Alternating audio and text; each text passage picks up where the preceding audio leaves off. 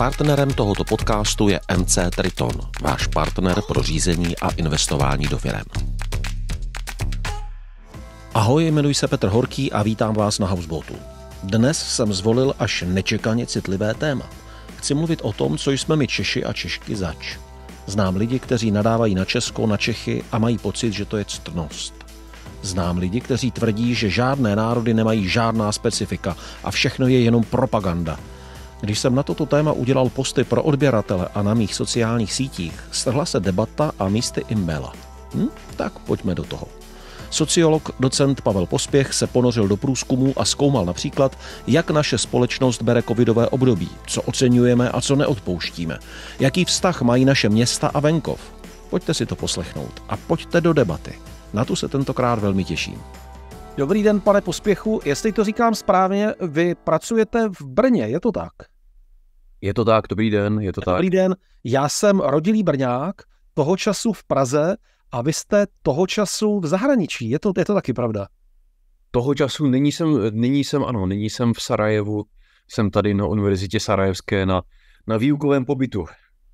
Tak to si eh, toho velmi cením. My jsme ten termín hledali vlastně už někdy od června, července, kdy jsem četl tuhle tu vaši knihu, Neznámá společnost, eh, pohledy na současné Česko, kterou vydalo nakladatelství Host a když jsem to četl, jsem si říkal, já s tím chlapem musím mluvit. To mě jako nesmírně zajímá. A úplně na začátek, když se zeptám, jsme něčím fakt jiní? Našel jste nějaká česká specifika? Nebo ve finále všichni ti lidi po světě jsou stejní a jenom jsou tam nějaké zvyky a nějaké detaily? Jo, takový ten úplně nejobecnější pohled, eh, nevědecký, emoční pocit, jestli jste si z těch svých výzkumů naší společnosti odnesl nějaký svůj osobní jenom dojem a věm. Takhle já se do tady z té debaty dostávám relativně často, protože uh, já, kromě toho, že já vlastně pracuju uh, na Masarykově univerzitě v Brně, ale zároveň žiju v Rakousku. Takže se neustále pohybuju mezi lidmi, kteří jsou Češi v Rakousku nebo Rakušani v Česku. Jo, takže neustále uh, se ocitám v těch debatách, jaký jsou Češi a jaký jsou Rakušáci, jaký jsou ti, jaký jsou oni. A myslím, že lidi jsou jako jiní. No, že jsou jako v čem si jako specifiční. Akorát to, co my máme podle mě tendenci vnímat, je, že my máme tendenci představovat tak, že Češi jsou nějak jako adrem jiní, že jsme jako, že nějak jako rodíme jiní nebo takhle. A to si myslím, že není pravda. Jsme prostě produkt těch jako institucionálních okolností, historických okolností, ve kterých ale jsme tím pádem trochu jiní než třeba někdo jiný. Jo. Ty říkal, že ty odlišnosti tam jsou, eh, které se nějakým způsobem dají najít. Ona se k tomu pak i váže uh, řada otázek, které položili lidi. Já jsem se zeptal lidí, kteří odebírají můj kanál a kteří uh, jsou v kontaktu s, těmi, s tím pořadem Housebot a mám tam pro mě docela jako zajímavou řádku otázek, kterým bych se pak závěrem chtěl dostat. Mě asi nejvíc zaujala, musím říct, kapitola, která je tady hnedka jako po úvodu a tam je český privatismus. To je úplně úžasný termín a já jsem se u toho místy řechtal a místy mě u toho bylo úzko. Eh, já nechám na vás, abyste to uvedl nějakým způsobem. Ten termín privatismus, on, on teda se v sociologii používá jako v různých kontextech, ale uh, já jsem se s ním setkal poprvé, když jsem četl právě o občanské společnosti v postkomunistických státech, různé články, no, a Četl jsem třeba knížku antropoložky Soni Hirt, která píše o tom, jak se v Bulharsku staví ty, ty gated communities, ty uzavřené komunity, jak všichni lidi se vlastně jako orientují na ten, na to, co je za, za, za tou jako zdí od toho rodinného domku a jak je to zároveň uh, doprovázený určitým jako stažením se z veřejné sféry, určitým nezájmem o veřejnou sféru, uh, rezignaci na svět politiky, rezignaci na nějakou jako občanskou aktivitu uh, a tak dál. A to, co asi z Česka známe, myslím, co se někdy používá, nebo někdy lidi mluví v Česku takovým to jako švejkovství třeba, nebo takhle. Vlastně je takový ten jako vypočítavý vztah k těm pravidlům, že člověk tím, že se orientuje na ty svoje soukromé zájmy, tak se snaží ta veřejná pravidla nebo ta obecná pravidla různě prostě obcházet a různě je tak jako vychytrale prostě jako přechytračit vlastně, to je to, co hledáme. Je v tom něco, jako že považujeme za ctnost nevěřit úřadům a všemu, co je státní a oficiální? v určitým smyslu jo, v určitým smyslu se tím jako pochlubíme, nebo že poradíme prostě kámošovi, ale to si auto napiš na manželku, jo, nebo tohle udělej takhle, tohle udělej takhle, to se, no takhle prostě jako optimalizujeme ty daně, jo, třeba, nebo jo, máme takovýhle prostě, není, není to podle mě ostuda, je, je to něco, co v podstatě se jako bere jako legitimní v Česku. Tak já se vás zeptám, jak byste se jako postavil k následující situaci. Bydlím na vesnici u Prahy a měli jsme tady vzrostlý smrk, který začal sesychat. Tak jsem pozval odborníka, ten řekl, ano, ten strom je nebezpečný. Měli jsme oficiální povolení na radnici a strom jsme pokáceli. A pak za mnou přišel někdo po ulici, když jsem šel a říkal, pane Horký, to byste měl vědět. Ten a ten gauner šel na radnici na vás bonzovat a ptal se, jak to je s tím poraženým stromem, co jste zhodili. A já jsem řekl, no já myslím, že to je dobře. To byl velký, krásný, vzrostlý strom, Eh, který z té strany od ulice se nemusel jevit jako seschlej. A vlastně porazit krásný strom v ulici je vlastně špatná věc, takže to, že se ten člověk na to ptal, mě vůbec neuráží. Předpokládám, že na vsi mu řekli, že to viděl odborník, řekl ano, ten strom ohrožuje, takže se musí zhodit a že je všechno v pořádku. A ten člověk na mě koukal jako na blázna. A já si fakt jako myslím, že vlastně asi by bylo dobré, aby ten člověk zazvonil u nás první, aby se zeptal jako pane Orky, proč jste prosím vás zhodil ten krásný strom, co jsem tady měl rád. Že to možná bych tam vložil, ale jinak si myslím, že nějaké jako propojení soukromého života a sdíleného života, že to je jako správně a že to je možná dovednost, kterou bychom se my Češi měli teprve naučit. Že ne každý, kdo se ptá, musí být bonzák a ne každý, kdo se stará o věci veřejné, musí být jako zaprodaný grázel. Hmm, hmm, hmm. Já, já mám pocit, tohle je zajímavý, protože uh, já, i když jsem vlastně taky jsem měl nějaké jako reakce na tady tuhle tu jako knížku a na tu tezi o tom privatismu. Hodně jsme o tom mluvili na nějakých debatách a velice často se právě setkával s tady tím zájmem o věci u nás v ulici. No, že tohle je taková jako na tady téhle úrovni, ta občanská angažovanost v podstatě funguje jako dobře. A, a myslím, že i jako kolem sebe máme spoustu příkladů, kdy kdy si lidi jako zakládají jako združení prostě, nebo jo, občanská združení na ochranu toho, aby se, já nevím, postavila uh, cyklostezka nebo zrušila cyklostezka. No, a to se děje, to, je, to máte pravdu. U nás v ulici. Jo. No, ale jako kdyby za tím horizontem té ulice, prostě tam se to najednou, jako tam se to vytrácí, že jo. Kdybyste, kdybyste chtěl vstoupit, myslím, uh, třeba do nějaké politické strany, kandidovat do zastupitelstva, abyste tady tyhle ty věci řešil, tak už se na vás lidi budou dívat divně. Už prostě jakmile vstupujete do politiky, tak jste prostě podezřelej. A to vůbec nemluvíme o nějakých jako o nějakým aktivismu nebo o nějakých neziskovkách, tam je to úplně špatně, že jo? Ale, ale to už je to vlastně ta, ta občanská angažovanost, no ta veřejná angažovanost, která se v Česku nenosí. Eh, jak, já ještě zůstanu chvilku u té nepolitické situace v naší společnosti. Napadá mě, eh, že mám řadu kamarádů, kteří tak jako frajersky se chlubí, jak projeli D1 Praha-Brno, ty jo, 160 jsem měl, 180 žádní policajti, to jsem dneska to švihalo dobře. A mě se v hlavě tak jako spíná, rád, rád jezdím do Skandinávie a tam se považuje za normální, že když je nějak nastavená rychlost, tak oni ji dodržují. Nebo kamarád uh, odjel z Česka do Ameriky, to je taky ještě zajímavý příklad. A říkal, jak v Česku, a to teda za komunistů, uh, považoval za ctnost každý porušení pravidel. Že si říkal, haha, to jsem to komoušu natřel. A pak, že byl v té Americe a byla dlouhá nekonečná silnice, kde nikdo nebyl a bylo tam, já nevím, myslím si 80 mil maximální rychlost a on celou tu dobu držel tu maximální rychlost. Protože prostě mu přišlo, že tam to má smysl, to nařízení. Není tady někde zakopaný pes, že furt máme pocit, jako jestli to teda jde po těch 30 letech, že jako všichni z toho státu stejně nás chtějí jako obelhat, manipulovat a myslí to s náma špatně. Hmm. Tam ty, ty motoristické příklady jsou strašně vděčný v této oblasti, protože tam, tam fakt jako to, to vyniká, jo, tady, tady ten etos toho privatismu. A je tam samozřejmě taky nějaký jako sociální tlak, jo, který určitě uh, ten váš kamarád to musel cítit, že kdyby tam jel tak, jak je zvyklý z Česka, takže by se prostě, že by si připadal blbě. Já, já ten zážitek mám taky, protože se mi stalo, že jsem uh, v Kanadě jsem podcenil prostě jak jsme daleko od letiště a musel jsem spěchat, musel jsem jet jako přes limit.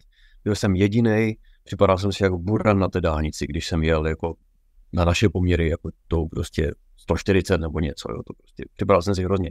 Ale je, je ten, ten element toho dědictví tam samozřejmě je, Uh, protože spousta jsme tak jako naučení, uh, že jsme právě ten stát je vlastně jako nepřítel no, a že, že, ho, že když ho přechytračíme, takže je to jako dobrý. ale, ale je to prostě otázka, jako jak dlouho s tím chceme takhle ještě pracovat, jako jak dlouho, no, to máme nějakých, kolik, 30 let, jak jste říkal, prostě po revoluci, 35 pomalu a pořád ještě říkáme, no to prostě se nám tak stalo, to máme tu jako minulost a nás k tomu jako tlačí.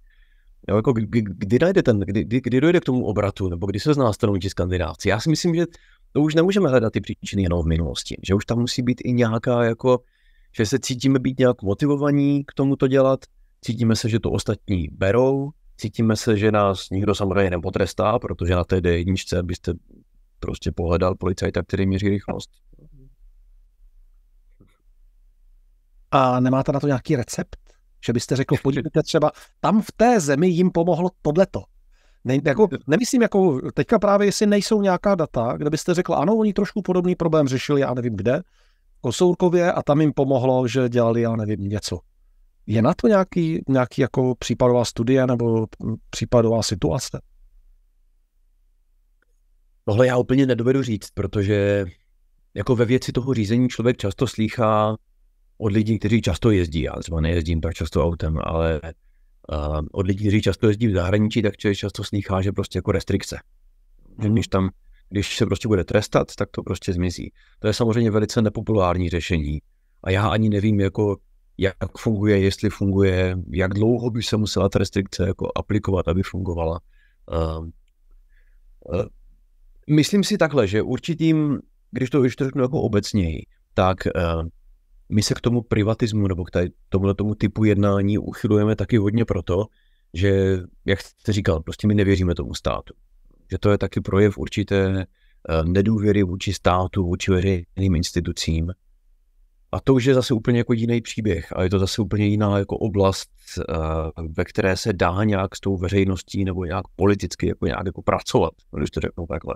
Takže v Česku je ta instituce v důvěry, eh, pardon, ta důvěra v instituce jako nižší ve srovnání, já nevím, třeba s tím Rakouskem sousedním, jo, vidíte, že má, že Češi mají jako nižší důvěru třeba v instituce, jako jsou univerzity nebo takhle, nebo ve vědu.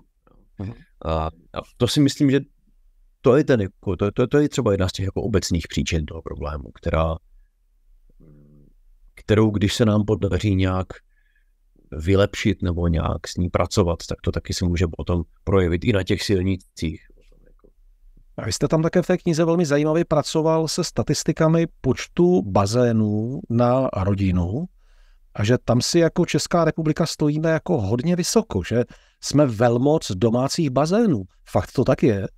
Existují data, které jsou velice jako nekompletní. V podstatě uh, spíš než by mě ty data já jsem vlastně tím obrazem toho bazénu, tady, tady tou statistikou, uh, jsem tu knížku vlastně zahájil, protože mě přišlo prostě vtipný vlastně vzít nějakou statistiku, která se tak obecně jako neví.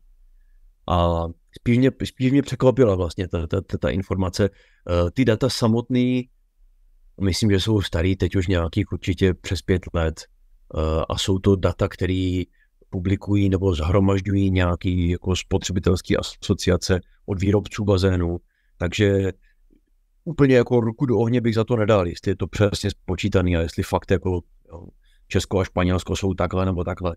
Uh, ale že, že na té špičce jsme tomu já jako věřím. To si myslím, že člověk i tak jako vidí, když se jako projíždí po Česku. A lze to chápat taky jako projev toho privatismu, že si to chceme udělat jako doma pěkný a venku nám je to jedno. Je to tak? No, Myslím si, že ano. Myslím si, že to, to je jako projev té orientace a to je, to je vlastně, jo, ta, samozřejmě ta pandemie v tom jako velice nás ještě jako přitlačila jako ven, jako dovnitř právě, ne, že ven. Ale právě, že dovnitř vlastně k tomu, abychom si hleděli toho svýho, no, těch svých zahrad, těch svých bazénů, to svoje prostě ten, ten, ten soukromý život a to, že vlastně hledáme to těžiště a tu seberealizaci pouze v té soukromé sféře. Aha, aha. Uh, pak bych se vás chtěl zeptat na to, často ve volbách zaznívá, a politici to často říkají, eh, ten má silný hlas na venkově, ten má silný hlas ve městě. Venkov, město, dva odlišné světy, které jdou ještě proti sobě. Hm, souhlasíte s tímhle dělením? No, ono je těžký, to je takový jako fenomén, no, protože když se podíváte na, na, na ty mapy, které vždycky vychází po volbách, Uh, už i, i třeba to první kolo české prezidentské volby, poslední volby tady, že jo. Uh, nebo jako mapy v sousedních zemích, v Polsku typicky, teďka na Slovensku, tak, tak fakt jako vidíte, že, ten, že ta, to město a ten venkov jsou prostě jinak vybarvený. Že, že, to, ta země je vybarvená jednou barvou a ty města, ty tečky uprostřed jo, jsou prostě vybarvený jinou barvou. Ono to samozřejmě, ono to tak doopravdy není, protože to co, to, co tam nastává, je to, co my v sociologii popisujeme někdy jako tzv. kompozitní efekt. To znamená, že se vlastně lidi, kteří žijí na venkově, mají určitý charakteristiky a to, co je rozhodující, ten rozdílení v té venkovskosti, ale v těch charakteristikách. A tou hlavní charakteristikou je vzdělání. No, že vlastně ne, že by lidi na venkově byli nevzdělaní, ale to, že ti, ti, nejvzděl, ti nejvzdělanější, ti, kteří mají terciární vzdělání a tak dál, tak ti samozřejmě musí bydlet ve městech, protože tam mají ty pracovní příležitosti. A ve, ve chvíli, kdy do toho vztahu města venkov jo, promítnete vzdělání, tak ten rozdíl vlastně zmizí. Ten rozdíl je v mhm. podstatě na té statistické úrovni je ten rozdíl redukovatelný na vzdělání. Ale to samozřejmě není jako jediná, jediná úroveň, na které společenské jevy existují. Vy, vy můžete jako vypočítat to, že nic takového jako polarizace města venkov v Česku neexistuje.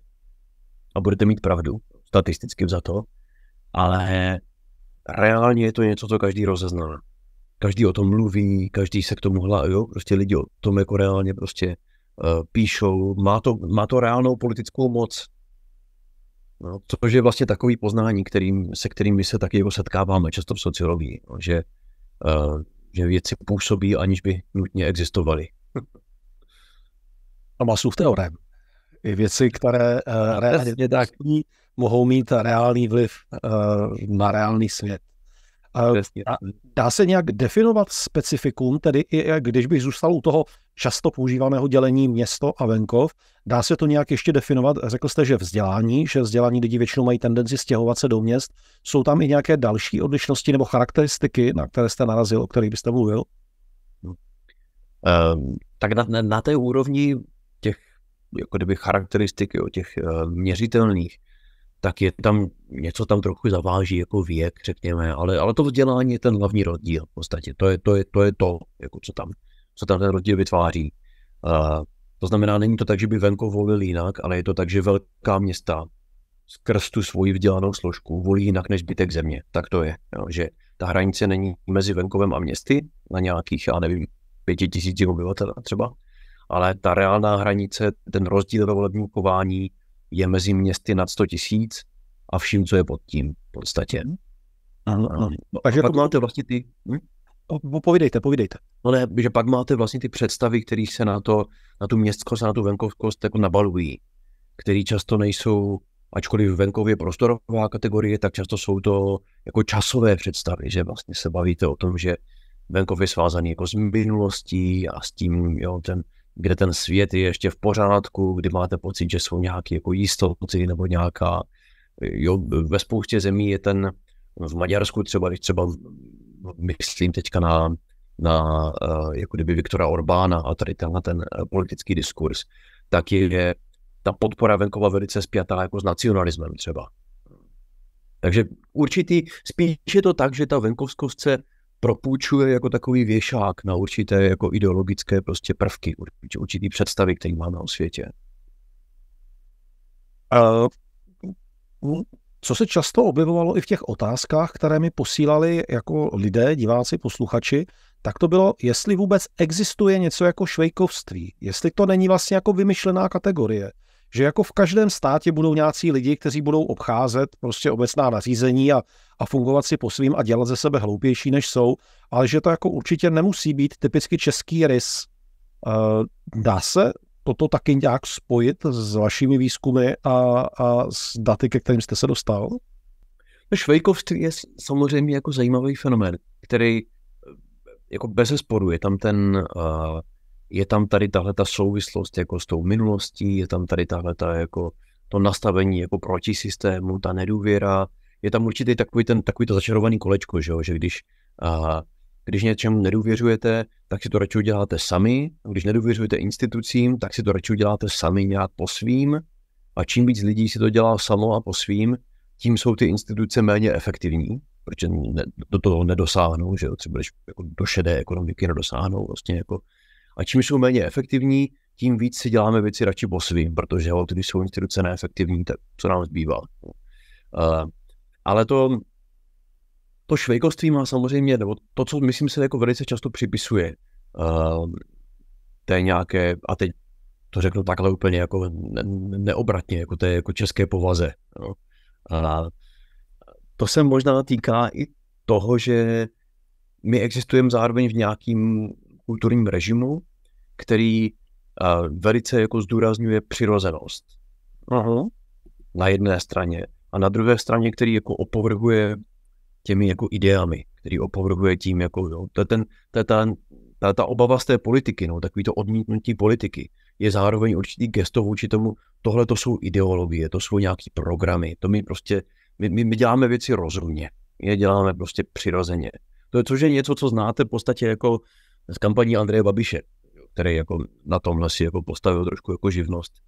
Ale existuje právě knížka, kterou já mám velice rád, kterou napsal uh, Ladislav Holý, antropolog, který emigroval z Československa a vrátil se v 90. letech uh, minulého století s cílem, že napíše knížku jako, jako antropolog o Češích, tak jako antropolog přijede někam prostě do nějaké společnosti, takže on takhle chtěl přijet jako mezi Čechy, mezi to, do, do toho svého rodiště a píše tam o tom, že vlastně ta osa mezi přirozeným a umělým je jako základní osa, na které se v Česku vynáší hodnoty, na které my se identifikujeme. No, že my máme představu o tom, že něco je rozumný, že je něco přirozený a to je to, co bereme jako, to je to, co valorizujeme pozitivně a ty věci, které jsou umělé nebo ideologické, tak těm se potom stavíme s tou prostě ironií, s tím sarkazmem. To jsou ty, to, jsou ty, to je ten prostě český humor, který myslím, že rozeznáváme velice snadno, no, že uh, když, když je nám něco prezentováno z autoritativních pozic nebo nějakých jako ideových pozic, tak to je prostě přesně ta voda na náš mín, kdy jako my vymýšlíme ty jako vtipy a tak dále. Takže určitě to má i jako eh, hlubší historické kořeny. To švejkovství v tomhle smyslu. A tím pádem i heslo jako nekecáme, makáme je tím pádem nejen jako volání do větru, ale to je pravděpodobně o sociologická data obsená, velmi racionální volba, která ví, že cílí na komoru našich národních slabostí. No já si myslím, že jo, tak já vůbec nevím, jakým způsobem ten marketing toho hnutí ano fungoval, ale, ale byl bych si jistý, že tohle mají jako změřený a že to, co zjistil ten Ladislav Holý, tak to ten Babiš taky jako prostě vytěžil, že, že přece práce je to, co je jako jo, nespochybnitelný. Makáme místo, abychom prostě kecali, to jako ta prázdná slova, ono to má ještě jako daleko hlubší kořeny, asi než tom přemýšlíte. Ale řekněme jenom, ta, ta prázdnost toho vnějšího gesta a ta plnost toho vnitřního obsahu, to je něco, co patří ne, nejenom k české kultuře, ale vůbec ke středoevropské kultuře. Co mhm. patří prostě, jo, romantismus, německý romantismus, který s tím pracuje strašně. No, že to pravý je prostě uvnitř, ty vnější gesta, ty jako ideje jsou taková, jako prostě takový pozlátku. To vevnitř má být skryté, to má být zjeveno jen v okamžicích největší nouze, kdy ten čin, kterým ještě sebeobětující se čin, ten je úplně to nejlepší, co to může nějakým způsobem jako ilustrovat. Je mi to jasné. Přesně, to v nás musí dřímat a pak se to musí, pak se to musí prostě. Jak to je s českou národní nesebedůvěrou? Máme něco takového? Narazil jste na to? No narážím na to narážím na to jako kdyby ve své jako učitelské praxi, protože učím jako na, na, na vysoké škole, uh, pracoval jsem předtím ve Vídni na univerzitě, kde jsem učil a byl jsem zvyklý, vlastně učil jsem v Česku na univerzitě, pak jsem, pak jsem začal učit ve Vídni, no, pak jsem se, a teď jsem se vlastně vrátil do Česka. A z toho Česka jsem byl zvyklý, že, že musím ty studenty pozbuzovat a studentky, aby prostě mluvili. Vždycky jim říkám, no tak pojďte, řekněte mi něco. A tuhle chybu jsem potom udělal ve Vídni, že jsem pozbuzoval a pak se zjistil, že nedokážu zastavit. že oni pořád prostě, oni, oni tam přišli s tím, úplně všichni automaticky počítali, že prostě svět je zvědavý na jejich názory. jsem úplně z toho byl vyděšený v tu chvíli, jak jsem nevěděl, jak to mám regulovat. Takže s tímhle jsem se setkal eh, na, na téhle úrovni. Taková ta, jako, taková ta obava z toho mluvit, kterou zažívám ještě pořád, mění se to taky, ale ještě pořád ty zažívám jako u českých studentů a studentek, když to v tom Rakousku jsem kolikrát měl problém opačný. A viděl se dost slovu. Tohle je velmi zajímavé, to, co říkáte, protože se to vlastně spojuje i s tím, o čem jsme se bavili před chvílí. Já si myslím, že u nás se bere vlastně za, zase zactnost, uh, sedávej panenko v koutě, budeš-li hodná, najdou tě. Uh, mluviti stříbro, mlčiti zlato. Že jako opravdu uh, nikdo není zvědavý na ty tvoje názory, prosím tebe. Radši tady za, za, zařaď a makej. Jakože, že toto jsou vlastně věci, které možná máme prorostlé skrz na skrz a vnímáme i naopak jako ctnostný projev nějaké skromnosti a takové to upozadit se a tím dát najevo, jak hodnotný jsem člověk. No. Zajímalo by mě asi, jak to je. Možná bych se hrozně rád zeptal někoho, kdo pracuje třeba jako v základním školství. Aha. Uh, učitelů nebo učitelek, uh, dlouho třeba, kdo tam pracuje, jestli se změnila taková ta norma, kterou já znám samozřejmě ze svého jako dětství, jakože já a kluci, když jsme byli jako na základce, tak ten, kdo se hlásil, byl prostě úplně jako blbec. Přece jako jo, jenom, jenom šprti, jenom prostě jako jo, podlízáci prostě jako to, to se nedělá přece. A jestli tohle se změnilo, to mě zajímalo vlastně je možné, teď se možná dopustím jako strašlivého oslího můstku, který vůbec s tím nesouvisí, jestli tam nemůže být i to reziduum, že jako ten, kdo se hlásí, tak jakoby v uvozovkách teda kolaboruje s tou školní mocí a vlastně jakoby zradí ten privatismus i toho vnitřního třídního kolektivu. Jako, jestli to nemůže být takhle skrz na skrz prorostlé naší společnosti. To asi může, to asi, to, to, to, to, to si myslím, že možná může, no. Ale zase na druhou stranu, uh, tady ten jako kdyby étos toho odporu vůči těm učitelům je něco, co my vlastně známe jo, v tomhle věku, to asi jako existuje všude na světě. Uh, I v zemích, které nemají tu komunistickou minulost. Existuje strašně známá studie Paula Bidise z Velké Británie uh, o tom, kde on vlastně sledoval to, jak se z dětí z dělnické třídy stávají dělníci zase. No a, a, a říkal si, jo, jak, jak oni to vlastně berou, nebo jak oni komentují ten svůj osud přece. Přece to určitě není tak, že ti lidi si řeknou, no jo, jsem prostě hloupej, tak budu celý život ve skladu tahat krabice nebo něco. Tak, tak to určitě jako neprožívají. A, a ten Willy zjistil, že, že tady tyhle ty děcka z té dělnické třídy v tom, teď nevím, kde přesně v Británii to probíhalo, ta studie, takže mají tady ten odpor vůči těm učitelům, že vlastně jako jim dělají jako nás chvály a sami sebe staví, jako že my jsme prostě nad nějakou školou a že potom, když začnou pracovat, tak se úplně stejně chovají k těm mistrům a k těm vedoucím a tak dále, že vlastně tady ten postoj si jako kdyby podrží. Čili minimálně v tomhle člověk vidí, že je to univerzální, si myslím, nebo univerzální, že to existuje i v jiných zemích, ale co si myslím, že možná ten faktor, který tady možná hraje určitou roli, je to, čemu se někdy říká jako habitus v sociologii, což je vlastně taková ta jako sociálně vytvořená kompetence že pokud máte, jo, pokud třeba pocházíte, jak, jak spousta těch mých vídeňských studentů a studentek pocházela z takové té bohaté vídeňské buržoazie, z tady těchto těch jako rodin, prostě jako bohatá střední třída, kde, kde oni vyrůstali v prostředí, kdy měli, já nevím, jo, maminka je prostě ředitelka nějaké firmy, tatínek je prostě nějaký doktor a když rodiče doma, když rodiče mluví, tak lidi je poslouchají. A to dítě, který v tom vyrůstá, má pocit, že když ono bude mluvit, takže ho taky lidi budou poslouchat, že to je přece jako kdyby samozřejmý. A tím vzniká určitá jako sociální kompetence, nebo to není tak, že by to dítě bylo chytřejší.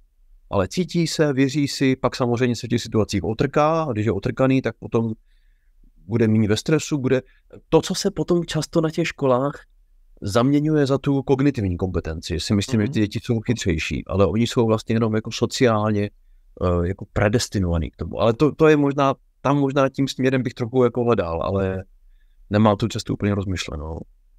To je určitě velmi zajímavé, protože je-li člověk navyklý na svoji hodnotu ve svém okolí, tak pak ji zcela automaticky svým konáním vyžaduje.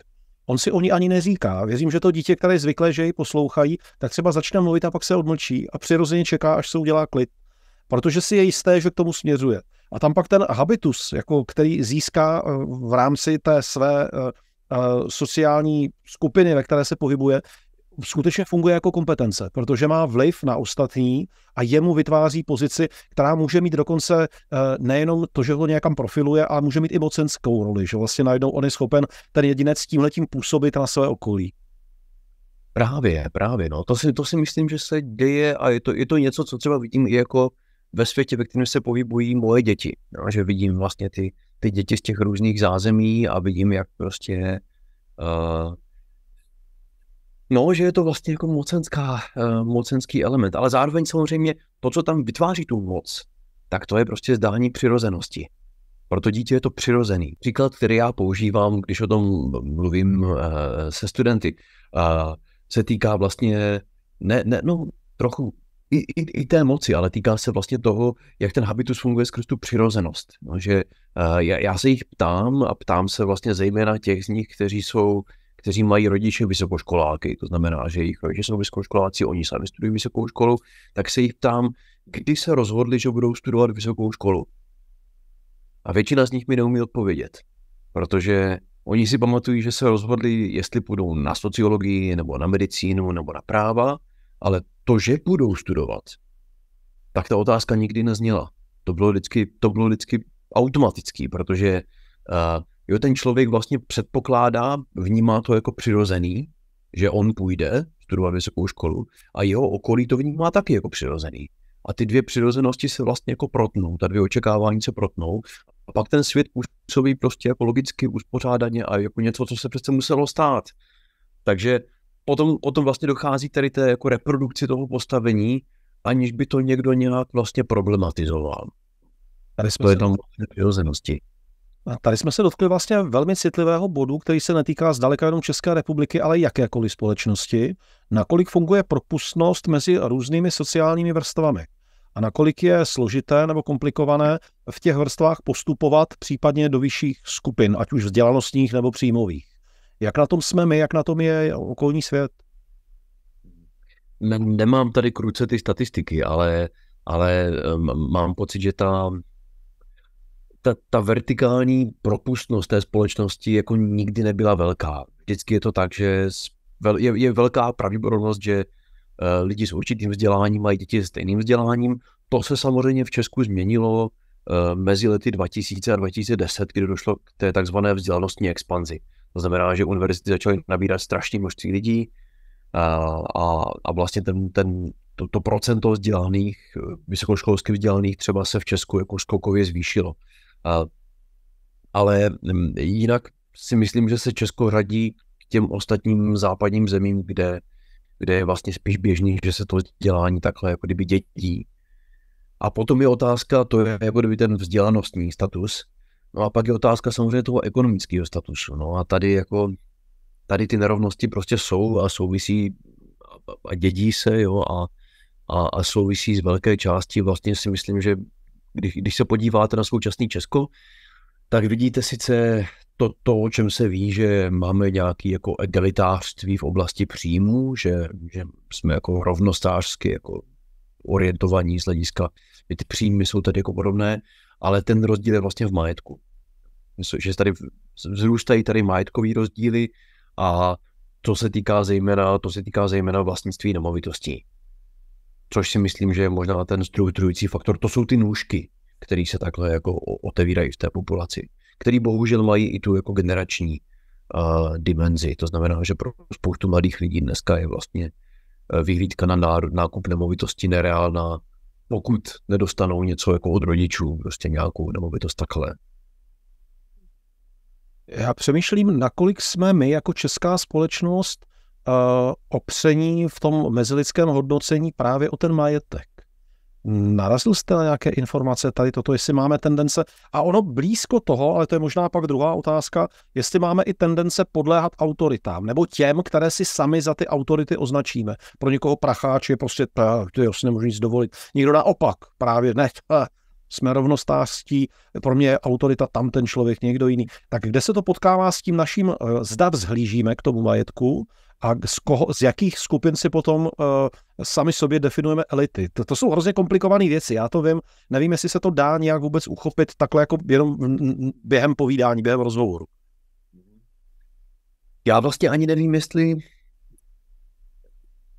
jo, to jsou prostě strašně zajímavé otázky, protože, protože já si vlastně ani nemyslím, že když jako v, tom, v těch médiích mluví ti jako prostě jako milionáři a miliardáři a dávají nám tam ty rady do života. A vyjadřují svoje názory na podstatě cokoliv. A, takže jádrem vlastně toho pozvání do toho nějakého rozhovoru je úcta k tomu majetku. Ale mám pocit, že je tam úcta k té práci. Že, že my si vlastně že my si vlastně prezentujeme ty lidi jako někdo, kdo něco, jako někoho, kdo něco vybudoval. Je to jsou lidi, kteří se svou prací někam dostali, kteří, kteří nějakým způsobem prostě tvrdě pracovali, kteří se prostě uh, nebo měli nějaký nápad geniální a pak rozvinuli samozřejmě tvrdou prací. A že tohle to je to, co v našich očích těm lidem dává legitimitu. Uh, samozřejmě my nevíme, jak to je. No, my nevíme, jak ti k tomu majetku přišli a možná rozhodně se nedá říct, že by jako bohatí lidi plošně pracovali víc než chudí, to tak to není samozřejmě. A, a mám pocit, že tady tohle je ten mýtus, který kolem toho jako vzniká.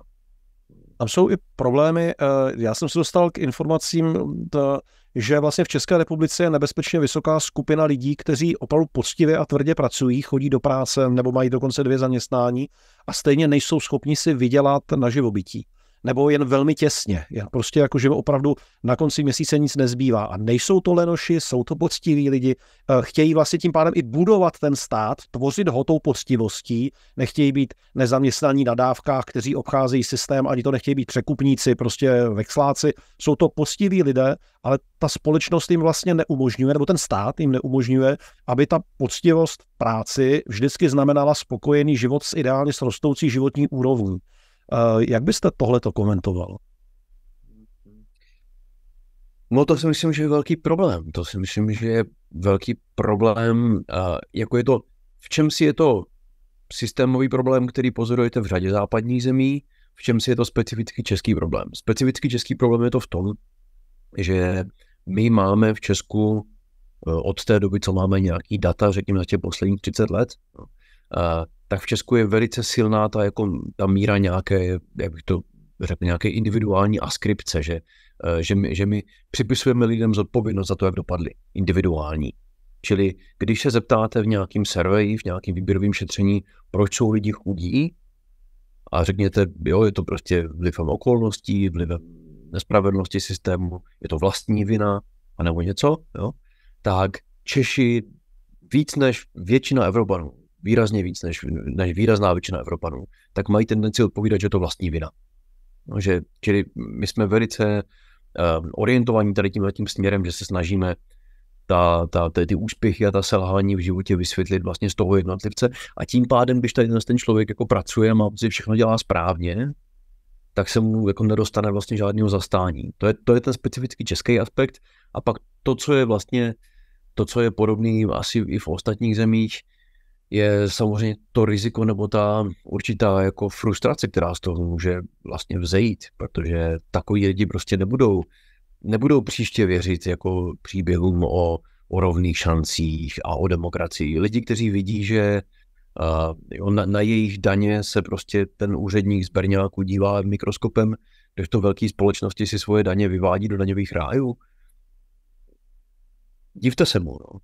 To je, to je právě to, kde jsem si říkal, jestli se nám neuzavře ten příběh té nedůvěry ve stát a v jeho, stát, a v jeho instituce, v ty státní instituce, že jedna věc tady může být nějaké reziduum, nějaký zbytek z minulosti komunistické, kde dobře, tak možná v nějakých rodinách se to ještě dědí, ale ono to může být i nově získané, že mohou být generace, které opravdu jako právě poctivě pracují a nevede to k úspěchu a ještě ta společnost Eh, jim nenabídne zastání, i jako v tom mezilidském prostředí, jako no, tak ty si loser, protože nejseš prachatej, nebo aspoň nemáš se dobře.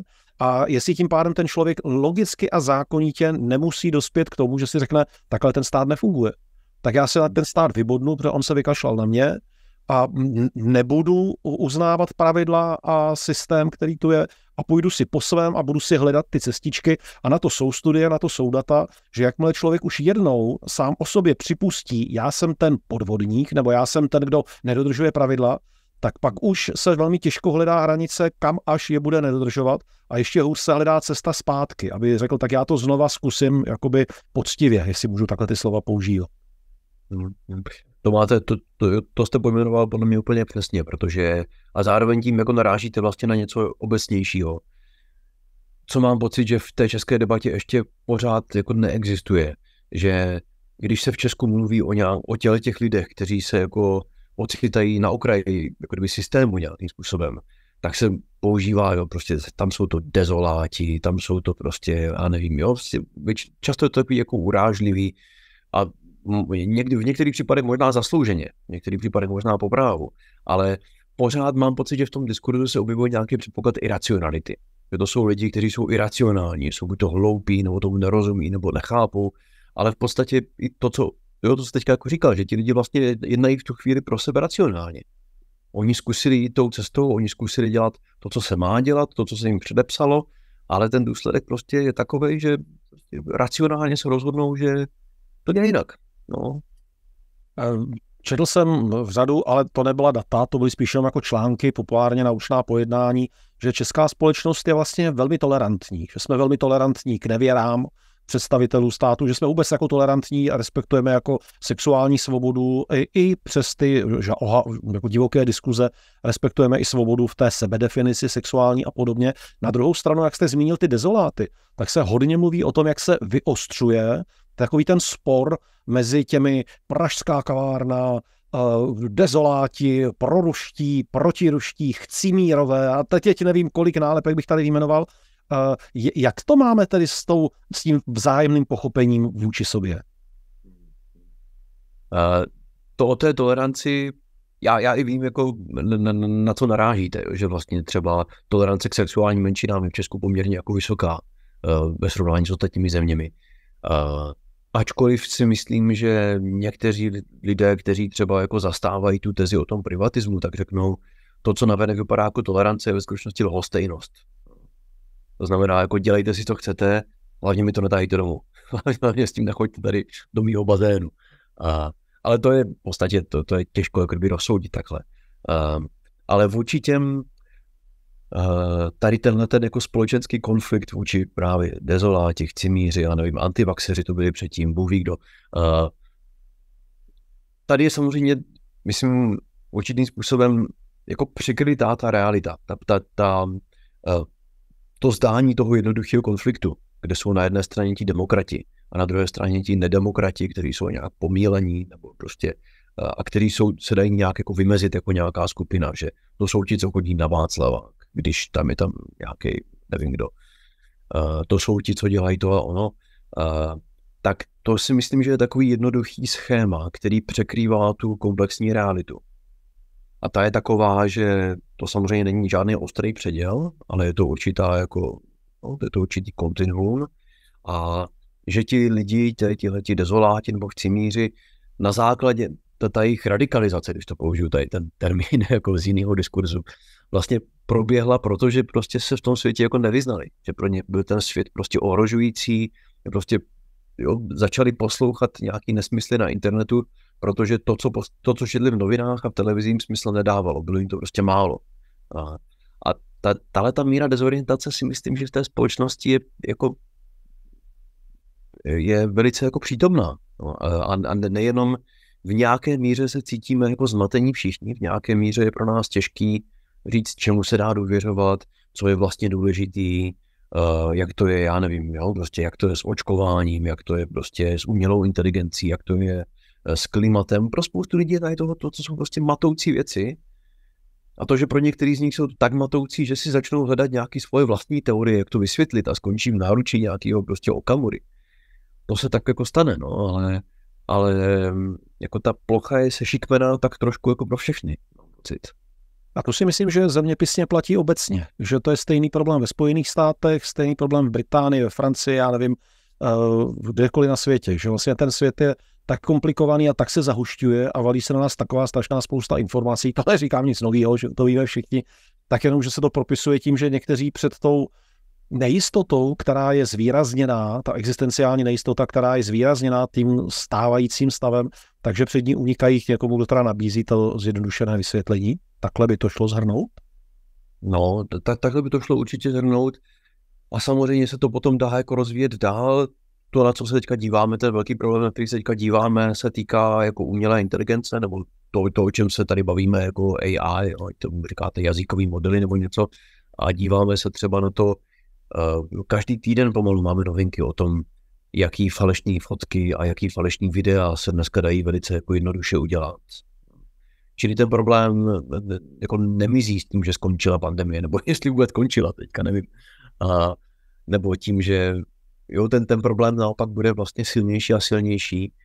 A ta výzva, kterou si myslím, že před sebou máme, je prostě hledat nějaké infrastruktury, které jako existují samozřejmě s tou umělou inteligencí spojený rizika, který nedovedeme ani pojmenovat v tuhle chvíli. Ale tohle to je zrovna riziko, který pojmenovat dovedeme. To znamená riziko jo, prostě informačního chaosu. A myslím si, že bychom třeba mohli kultivovat nějaké struktury, které se tomu, tomu riziku dovedou postavit do cesty. Mám na mysli třeba veřejnoprávní média. Ale ne, nemám pocit, že by tady byla nějaká jako příznivá atmosféra vůči veřejnoprávní médii. Mám pocit, že jediný, co kolem sebe vidím, je jako česká televize ve ztrátě, v zisku, toto, jakože vlastně to si myslím, že tam jako budeme litovat jednou. Já, já věřím, že se nestane žádný zbrklý krok, který by tady tu lítost nenávratnou způsobil, to znamená ztráta veřejnoprávních médií, protože, a to si dovolím teďka tu odbočku, že v tak malé zemi s tak malým počtem obyvatel, jako je Česká republika, je velice levné udělat kampaň, která opravdu posune eh, veřejné mínění jakýmkoliv směrem. A můžeme na ty veřejnoprávní média nadávat horem spodem jakkoliv, ale jestli je něco, alespoň jakýsi nástroj proti téhle té levné manipulaci, tak to jsou veřejnoprávní média. Diskutujme, rozčilujme se jasně, ale mějme je tady. Že pak stačí jako fakt peníze, za které se udělá malá kampaň. Velké firmy si to můžou dovolit bez problému, velcí, bohatí lidé taky a budeme se divit, jak, jak se naše vlastní názory budou měnit. Jako no, to, to k tomu to, neodolám, abych nedodal. no, to, to, to s vámi naprosto souhlasím. Já jsem teď nedávno jsem četl právě článek o tom, jak je na tom momentálně BBC, teda ne, nemám bohužel data teďka, určitě existují data z Česka, ale, ale vím, že prostě BBC zažívá jako rekordní míru důvěry populaci, protože je to určitá jako jistota, že jo, vlastně v tom jako světě, ale zároveň, zároveň zažívá rekordní, nebo ne rekordní, ale to se nedá takhle vyčíslit, ale obrovský tlak ze strany těch politiků, aby prostě optimalizovala, šetřila. Ta snaha vlastně prostě jako osekat co nejvíc. Uh, to, to, to není, podle mě dobrá cesta. No. Ruku se s tím uh, aktuální nebo poslední Reuters report ukazuje, že nastává obrovský odliv lidí od spravodajství, že vlastně lidé nejenom u nás, ale vůbec jako po světě už těch informací mají tolik, že se chtějí izolovat a chtějí odejít a tak jsem sám zvědav, jak se to v příštích letech propíše do toho, co budou obsahovat média, co se bude lidem nabízet a zda se víc vzdálí mediální světům praktickému světu. Ale eh, tady tímhletím obecným mluvením, které jsem teď pár minut vedl, se zeptám na konkrétní věc. Já jsem tak jako sbíral odvahu, ale zeptám se, máte nějaká data ohledně covidu? Věříme, nevěříme, eh, byli jsme pro, byli jsme proti, vaxeři, antivaxeři, je něco, co byste k tomu mohl říct? Já vím, že v té knížce o tom je kapitola, ale tak jako nechám na vás, nakolik to máte teďka třeba aktualizované, nebo nakolik i vy na to koukáte třeba dneska už po svém. No, to je zajímavá věc, že? Já jsem, to je zajímavá taková jako kolektivní amnézie. Já jsem se, já jsem se nedávno, jsem, teď jsem se někoho ptal, seděli jsme někde, a teď nevím, jestli na fakultě nebo v hospodě, nebo někde, to je vlastně jedno, kde jsme seděli, ale, ale řešili jsme, jak se tehdy jmenovaly ty vakcíny. Zjistili jsme, že většina z nás to, jo, prostě to bylo takový prostě jméno jako AstraZeneca, jo, to prostě jednu dobu to přece jako znal každý, to jsme, s tím jsme vstávali a usínali. A, a dneska to úplně se vytratilo z té paměti. Stejně jako, jo, se vracím k tomu, ty, ty data, jo, že jsme prostě jednu dobu jako sledovali ta data a zajímali jsme se, jak to polarizuje vlastně společnost a dívali jsme se na tu míru pro očkovanosti a tak dále tyhle ty data, jestli ještě vůbec někdo sbírá, já vůbec nevím, jo, že to jsme úplně takhle jako vytěsnili. Ačkoliv samozřejmě podle mě platí to, že uh, jakkoliv pokud ta pandemie skončila, já samozřejmě doufám, že skončila, uh, tak skončilo nějaké ohrožení, ale ty, ty příkopy, které to vykopalo, tak tady s námi jako zůstaly. Ten, ten problém tady s námi jako zůstal. Uh, mám pocit, co si úplně z hlavy vzpomenu, tak vím, že uh, ta pandemie přidala určitá procenta tomu, eh, k tomu, k tomu podílu těch lidí, kteří šíří nějaké dezinformace třeba pro, po internetu, kteří prostě jako sdílí různý jako dezinformační jako servery a tak dál. Uh, ale ne, nebyly to nějaký jako výrazný procenta.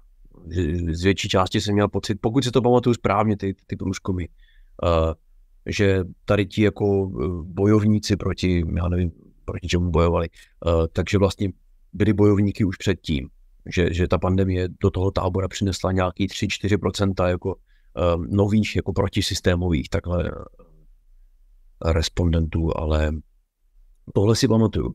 Ale vlastně no ne, nevím o tom, že by existovaly nějaký jako nějaký jako, a my bychom potřebovali přece nějakou jako uh, nějaký uzavření, nějakou jako katarzi, kdyby jsme si řekli, tak, tak jak jsme to teda zvládli, jako, co to s náma udělalo. Ale mám pocit, že v tom nikdo nechce mluvit ani.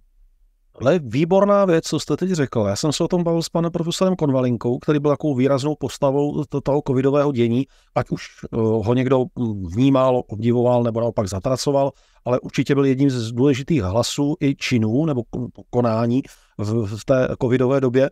A ptal jsem se ho na to, jestli existuje něco jako poučení z covidového vývoje, jako s nadsázkou jsem říkal, protože si myslím, že to potřebujeme.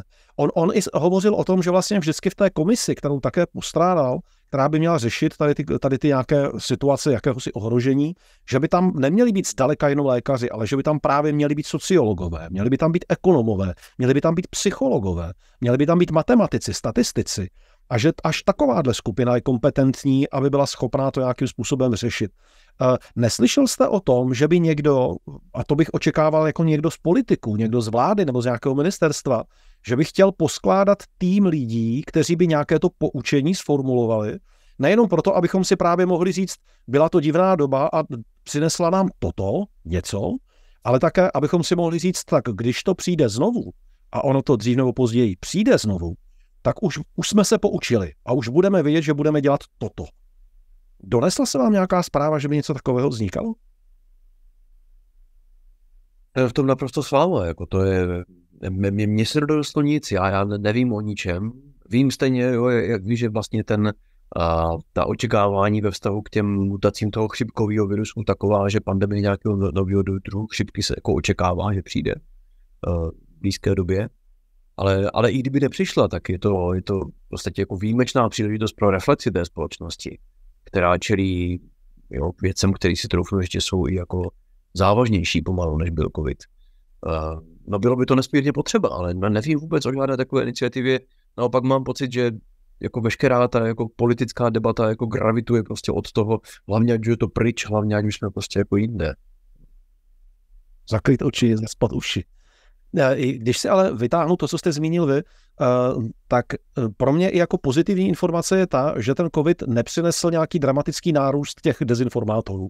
Že když člověk třeba má pocit, protože ty diskuze byly ohnivé a byly všude kolem nás, tak vlastně ta společnost, že by se najednou rozřezala na skupiny a vznikla by zásadní skupina těch, kteří prostě šíří cokoliv a, a ne, neověřují si to, nebo dokonce jsou někým placení, motivování, vedení k tomu, aby tu společnost rozkládali. Takže tohle to ten COVID vlastně neakceleroval. Ale vykopal teda ty příkopy mezi lidmi, že ty vzdálenosti osobní, mezilidské, ty, že se zvětšily nějakým způsobem. Lze to takhle teda říci?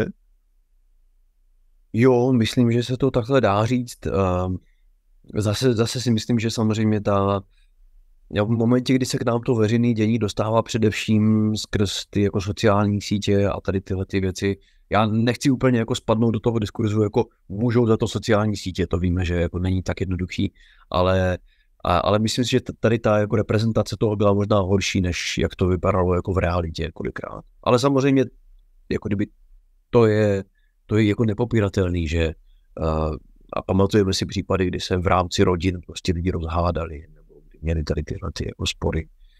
Jo, ty příkopy tam jsou jako i, i v tom soukromém světě.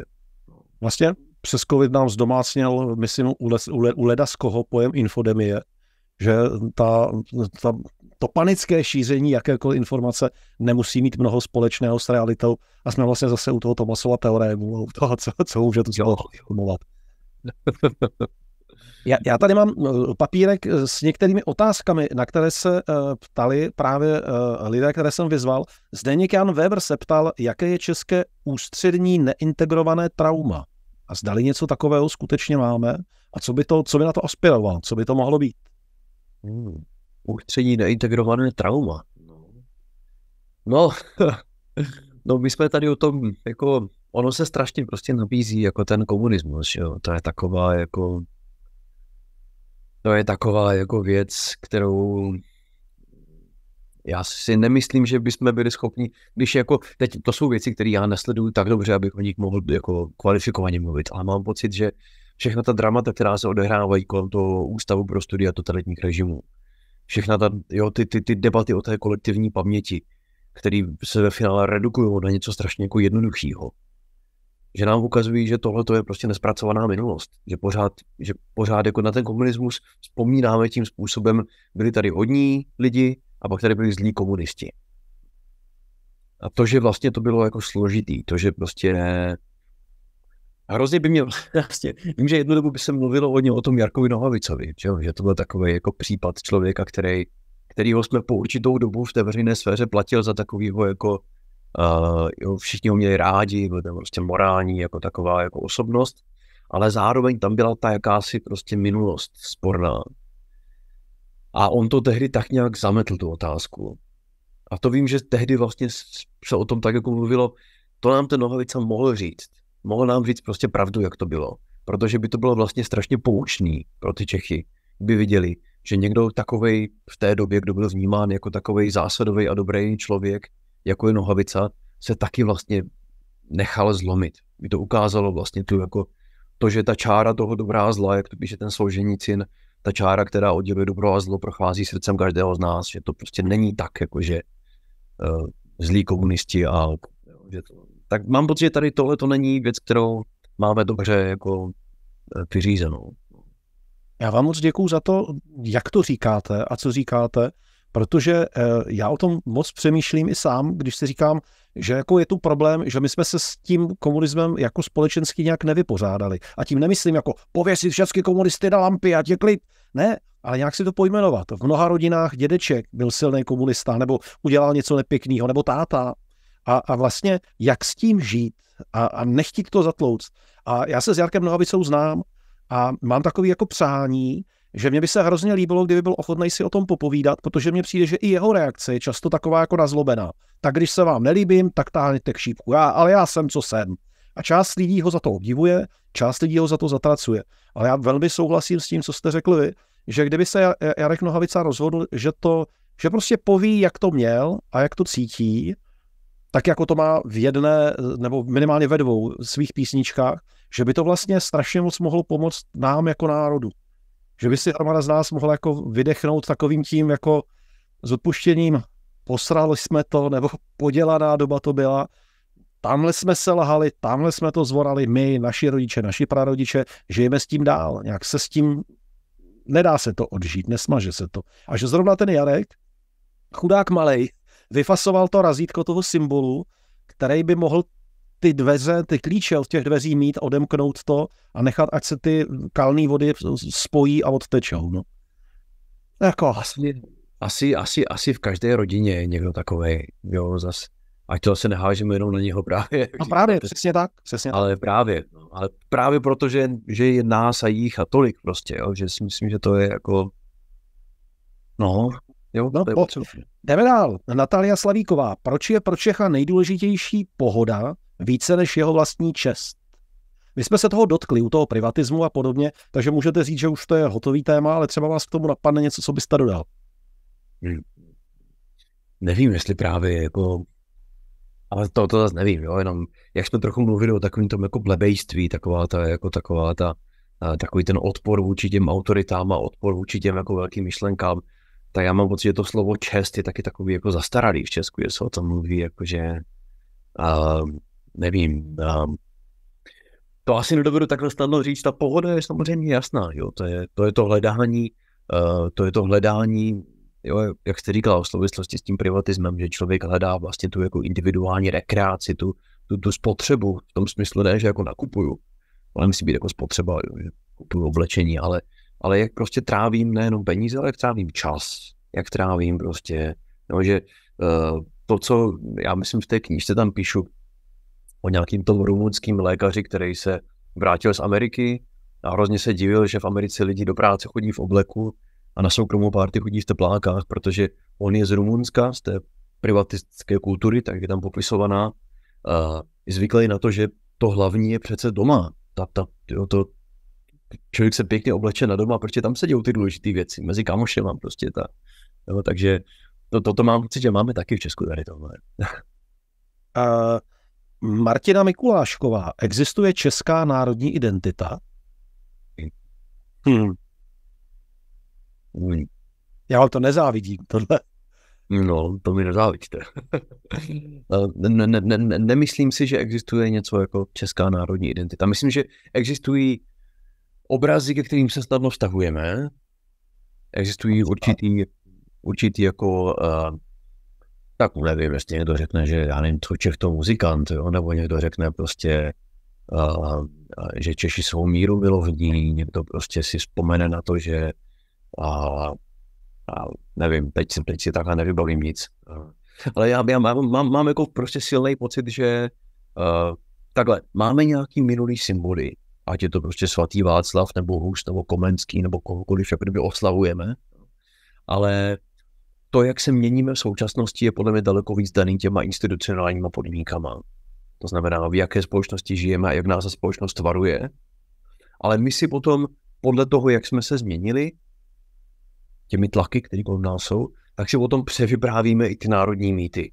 To znamená, že my tu, my tu národní identitu vlastně jako pořád, tak jako člověk, jo, každý člověk vlastně svoji minulost si různě převypravuje, aniž by byl lhář. Všichni vlastně jako děláme z té minulosti koherentní příběh. Takže když se Češi změní a začnou dělat něco místo něčeho jiného, tak si prostě tu minulost taky nějak převypráví. To si myslím, že je jako určitá jako paměťová práce, kterou dělá asi jako každá společnost. Děkuju. Pavel Koráb ptal se na nízkou národní sebedůvěru, o tom jsme se bavili, a pak se ptal, eh, jestli je české brblání jiné než brblání jiných národů. Že jako máme zažité takové to, že Čech už když se zbudí, tak začne na něco nadávat. A jestli to mají i jiné národy a jestli to teda je vůbec vlastně český list. Nevím, jakože uh, dovedu si představit něco ve smyslu, jak jsem o tom teďka mluvil, jo, ten, ten odpor k těm autoritám a ten odpor k těm jako velkým idejím. Uh, vím, že vím, že jsme měli debatu a teď, a teď jsem zapomněl, kdo z těch řečníků to odkud to zaznělo, ale no, to se, no, zůstala se mnou ta, ta myšlenka, jako že, že česká národní identita jako postrádá ten jako patos. Tento prostě patetický gesto, to je jako velký gesto vlastně, který v americké politice to máte neustále, jo, ty prostě tam, tam se čtou ty básně a tam se dělají ta velká gesta, tak ty jsou nám jako prosmích. A my prostě brbleme, protože to vidíme. A, a vím, že tady, tady tohle, ten, to, na co si nemůžu vzpomenout, kde jsem to slyšel, byl nějaký člověk, který komentoval rozdíl mezi českou a moravskou identitou.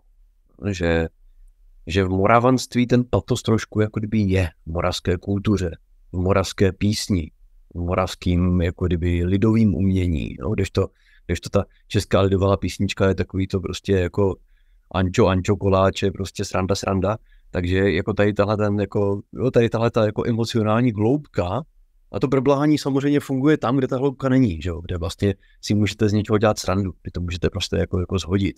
Tak možná to je něco, co jako takhle je nalepený na ten český uh, diskurs. A ráda, děkuju. Mně přijde, že jsme se dotkli eh, celé řady velmi senzitivních bodů. Dělení podle majetku, eh, vztah k politice, vztah k lidem kolem sebe, vztah Česko a Moravsko, vztah město a venkov. Je, ta se může diskutovat a těším se na diskuzi, která případně pod tímhle videem pak poběží dál, co koho k čemu bude inspirovat a motivovat. Poslední otázka na vás. Máte rád Českou republiku a proč? Co je vám milý, co je vám blízký na tom žít v Česku? Mám ji rád moc, uh, možná ji mám jako příliš rád, mám pocit. Tak jako člověk, který žije v zahraničí. Já tím, že většinu času, nebo ne, nevím, jestli, a jo, asi většinu času trávím v zahraničí, to v tom, v tom Rakousku. Uh, do Česka dojíždím pracovat a trávím tam, řekněme, menší polovinu týdne. Uh, tak, uh, tak možná mám vlastně to Česko jako opravdu ještě o to radši, protože protože mi v něčem třeba jako chybí. mám rád, nevím, mám, mám rád určitou jako, mám pocit, že tak jsem, taky jsem prostě Čech, jsem naučený prostě jednat určitým způsobem, takže je jasný, že jako nejlépe jako zapadnu mezi ty ostatní Čechy, ale mám pocit, že v Česku třeba existuje určitá kultura jako kamarádství, nebo taková jako teď jako někdo, kdo kritizuje privatismus, to musím tak dát do takové závorky, ale, ale že tady existuje určitá jako uh, určitá jako mezilidská prostě jako taková automatická jako soudržnost, která se právě projevuje třeba v té oblasti jako přátelství, uh, která mi vlastně přijde hrozně jako okultující. Mám pocit, že rád se dívám na, na Čechy, když jsou spolu. Hmm. A teda rád jsem taky jedním z nich. Děkuji vám moc za tuhle tu debatu. Uh, zahřál jste mě tady tím koncem. Uh, já vám výměnou, abych z vás jenom netáhal osobní stanovisko, řeknu svoje. Já na Česko pohlížím tak trochu z legrace, ale s láskou jako na Hobitín, jako takovou tu malou vesničku těch malých lidí s těma chlupatýma nohama, kteří eh, si přetahují doma větší dýni, ale když pak je potřeba donést prsten, tak to nedokáže nikdo jiný než hobit. A já tak jako ve skrytu duše eh, jednak se rozčiluju, když někdo eh, dává zacnost, že nadává, jak jsme my všichni Češi pitomí, blbí, zloději a podobně, tak vedle toho v jiném koutku skrytém té mé duše si říkám, kdo ví, třeba se ukáže, že některé ty rysy, na které nadáváme, jsou naopak dovednosti, které v budoucnosti budou velmi důležité nejenom pro nás, ale třeba i pro ostatní státy. Uvidíme. To je super. Obytín je super, to se mi líbí. To se mi líbí. Díky moc, buďte zdrav, nashledanou. Děkuji moc, nasled. Možná jste si všimli, že tentokrát je celé video zdarma přístupné na všech platformách, placených i neplacených. Berte to jako malý dárek k Vánocům a taky jako moje podpora toho, abychom o sobě dokázali debatovat, i když to třeba nebudou vždycky vyloženě příjemné debaty. A pro svoje odběratele vymyslím další speciální dárek, abych ocenil jejich podporu. Každopádně vás všechny zvuk odběru mého kanálu a kdybyste snad chtěli i vědět víc, tak pojďte na herohero.co lomeno Petr Horký. Mějte se krásně, ahoj. Partnerem tohoto podcastu je MC Triton, váš partner pro řízení a investování do firem.